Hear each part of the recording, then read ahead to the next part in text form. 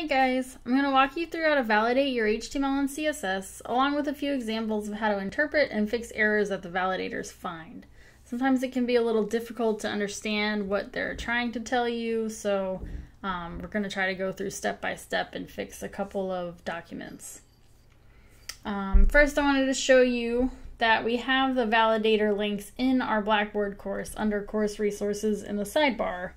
Uh, if you click on that, you can open the HTML validator. Um, over here, I've got a messy little uh, HTML document that I'm going to paste in here. So you can check by um, address. You can actually, if you've already uploaded your website somewhere, you can check um, if it's valid by typing in the URL. You can also upload your file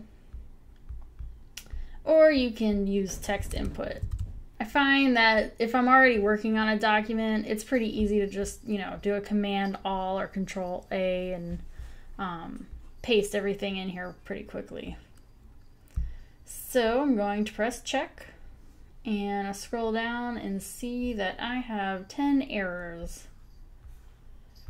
Um, I recommend just starting one by one from the top so the first one here is start tag seen without seeing a doc type first. Expected doc type HTML. Uh, this tells me that it is expecting my doc type at the very top of this document. So I'm going to add that, check again, and see that I now have nine errors. The next one is element head is missing a required instance of the child element title. This is telling me that every website needs to have a title tag inside of the head tag at the top of our document. I see that I have a title tag here, but it's outside of my head tag. If you also notice, uh, error number four is related to this as well. So we have element title not allowed as child of element body in this context. So it's basically telling us we need to move this up into our head. So I'll check again. So I'm checking again and I see that I still have the same error. Um, I believe this has something to do with the fact that there's an H1 inside of this head tag, which shouldn't be there. H1 should only be inside your body tag. So I'm going to move that down and just see what happens. All right, now we only have four errors. So fixing that those two things, moving the title tag into the head and removing the H1 from the head area, or the head element, uh, has brought us from 9 to 4 errors. So you can see how quickly you might be able to fix what looks like a daunting list of errors just by moving around a couple of elements or fixing a few typos. So end tag H1 seen, but there are open elements. From line 10, column 31. So I'm going to actually copy this back into my editor because it has line numbers and see that line 10 is this H2 actually ended with an H1. So if we fix that, copy it back in and check, we now have three errors. The next error is on line 19. So we see this P here.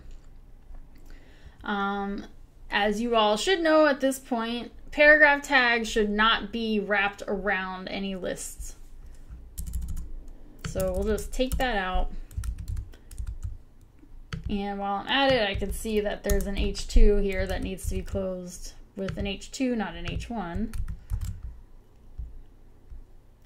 All right, just one more. So line 28, same issue. And we'll check, and now we've got the green bar here. Before you turn in your assignments, um, please make sure that you are getting this green bar here.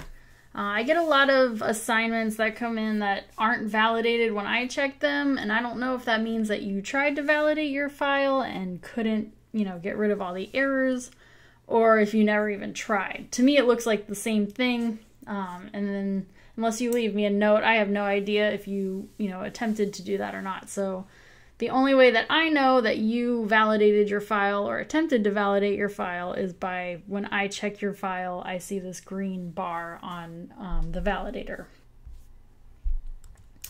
Uh, and next I'll walk you through a CSS document. So I have one open here in my editor. I'm to go back to our course to open that CSS validator link. Uh, this one opens a little warning telling me that we're leaving Blackboard, so just click that link again. Alright. So this page has a bunch of tabs that work the same way as that drop down did in our HTML edit or validator. So we go to by direct input and this allows us to paste our CSS right in there. So checking this one, I see that I have eight errors. This um, first column shows the line numbers. Uh, the second column shows what element um, the rules are in. All right, so value error, font size, attempt to find a semicolon before the property name added. So I'll go to line 17. And it's basically telling me here that there should be a semicolon closing the previous rule before this one's opened. So I can see that I have one missing there and one missing there. So copy this paste it back in. So we have a few less errors now. Uh, line 29, property border width doesn't exist. So you can see there that we have a typo and it should be width. Value error, border style italic is not a border style value. Um, when something says it's not a value, it means that there are only a certain set of um, valid values that can be in that property. So the border style um, would be things like solid, dashed. So I'll find that here. Change it to solid. Let's see how many we have left. All right, so in that same rule, value error padding can padding only zero can be a unit. Um, sometimes these things don't really make sense. Um, you must put a unit after your number. So I see here that it just says 25. When it says that you have to have a unit, it means something like pixels, ems, uh, percentage, something like that.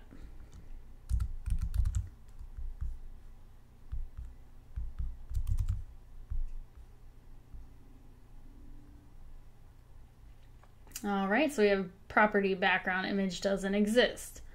Um, if we look at this closely, we see that the C and the K have been flipped around. And so I'll go back in there and do this again. All right, so background image URL is not a background image value. This one could be a little tricky, but the problem here is that there is a space between URL and the parentheses and the value in there. So I'll take out that space and check again, and we're down to one more. Um, background position, middle is not recognized. So for background position, you can have left, right, bottom, um, or center, or top. Um, you can't have middle, which is used in some other places, so it can get a bit confusing. Um, that's why some text editors have this little pop-up that shows you what values you know you can use at, for that property, um, which is really helpful. Uh, you can also use numbers um, with units for the background position. So we'll change that to center. Put this back in here. And we have zero errors now. Um, so I hope that helps you see that um, when you're validating, um, some of the important things to look at are the line numbers. Um, double checking your syntax. So, for example, that background image, um, seeing that there shouldn't be a space between URL and uh, the parentheses. It's something you might need to look up, you know, in your book if you're having trouble figuring it out, or, you know, email us if you're having too much trouble and you can't quite figure it out. I also want to remind you that if you start validating your HTML and CSS after you've been working on your files for quite a while and you see a whole bunch of errors, um, I just don't want you to freak out right away.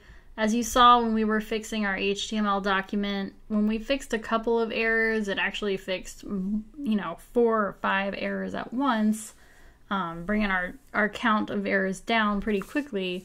So if you have a lot, you know, just fixing one or two things could possibly fix all of the errors on your page. I also want to mention that if you don't understand one error, it might be better to skip to the next one that you do understand.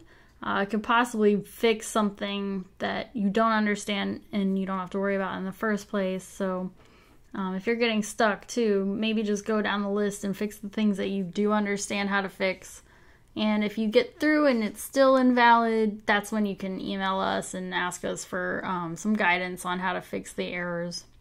As you fix issues in the validator, I would repaste your code over and over again and just double check that what you fixed then, you know, fixed the error that you were trying to fix, and also that it didn't fix all of them. So if you just keep trying to figure out the same errors, but you know, you've already fixed them all, um, you're just wasting a little time. So, you know, make sure you check your file multiple times as you're fixing it. So I hope that helps. Uh, and if you guys have any questions or run into issues when you're validating your files, you know, later on in the semester, just email us or post to the discussion board. Bye.